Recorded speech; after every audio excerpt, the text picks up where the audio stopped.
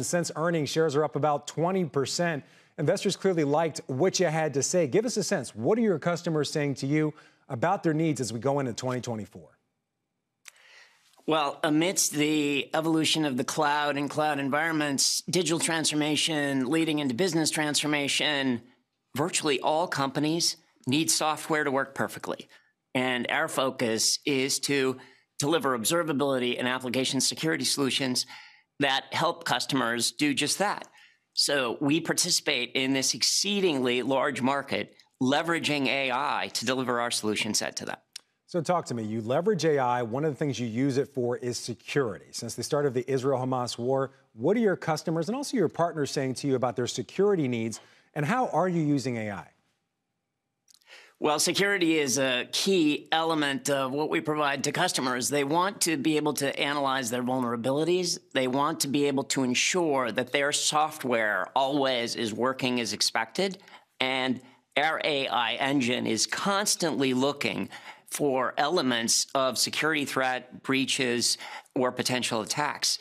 This is way more efficient than trying to do that manually by having, frankly, an army of people sitting in a network operations center staring at a sea of glass trying to, trying to do this on their own.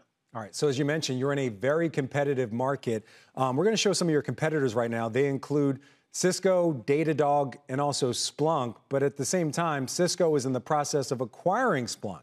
Give us a sense, and you also used to work at Cisco. Um, give us a sense to have a big company like Cisco playing in the same space you are, acquiring one of your competitors. How does that impact your ability to acquire new customers, to grow revenue going forward? Well, we really like uh, where we sit at Dynatrace. Uh, we differentiate on multiple different elements. Uh, one is we have a very comprehensive, unified platform that delivers against all data types logs, metrics, traces. These are the data types that are the fundamental building blocks for observability solutions. And our platform integrates those like no other.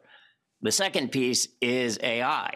We have a very sophisticated approach to AI which didn't come up for us six months or a year ago, but rather a decade ago. And we've been evolving and maturing our AI engine to deliver this very sophisticated analysis throughout this period of time. And third and finally is automation.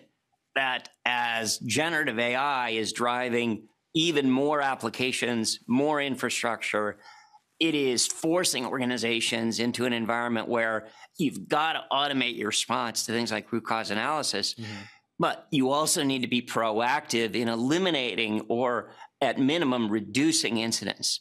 And our platform enables all three of these elements. Okay.